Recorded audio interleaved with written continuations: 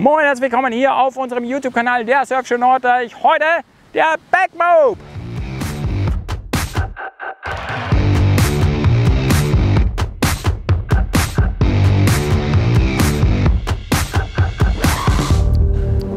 Servus, moin, herzlich willkommen hier auf unserem YouTube-Kanal der Surfshow Norddeich. Mein Name ist Michael Vogel und ich darf dich heute wieder durch unser Programm führen. Wir sind im Advanced Freestyle-Bereich unterwegs.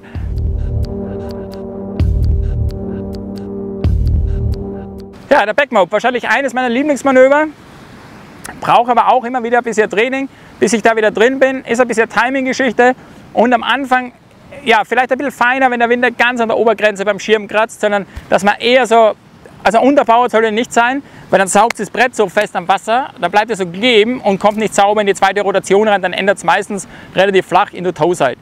Also das heißt, muss schon, das Brett sollte frei laufen, ihr solltet beim Absprung einen guten Rebound bekommen, dass ihr euch schön wegdrücken könnt und dann solltet ihr einfach nur wohlfühlen und genießen bei der Backmob. Wenn ihr alles gut macht und wenn ihr die, den Absprung eben richtig, richtig lange verzögert, dann fallt ihr in die zweite Rotation in den Pass schon rein und dann ist es auch ein leichtes, die Bar loszulassen und ihr habt sie hier wieder. Was brauchen wir beim Backmob? Ihr schaut, dass auf alle Fälle alles frei ist rund um euch, das kennt ihr schon beim Unhooked fahren. Und wenn ihr so weit seid, dass ihr den, äh, eine Backroll in die Wrap springen könnt, dann ist es eine Nuance nur mehr, dass ihr eben die Bar hier habt. Auch da geht es wieder in der Luft zu schauen, ist jetzt nicht ganz so anspruchsvoll wie beim 3 1 3, dass die Hüfte hier an der Bar ist, dass die Hüfte so ein bisschen hergedrückt wird und dann rutscht die Hand hier hinten schön vorbei und äh, ihr könnt sauber umgreifen und fahrt in die alte Fahrtrichtung wieder weiter. Ja, ich hoffe, ich konnte dich ein bisschen begeistern für den Backmob, auch wenn du jetzt denkst, Mensch, das ist ja ein Lichtjahre weg. Aber oft kommt es anders, als man denkt und auf einmal befindet man sich mitten im Training für einen Backmob und der geht relativ gut. Also es ist fast einfacher, so 3 ins 3 zu lernen.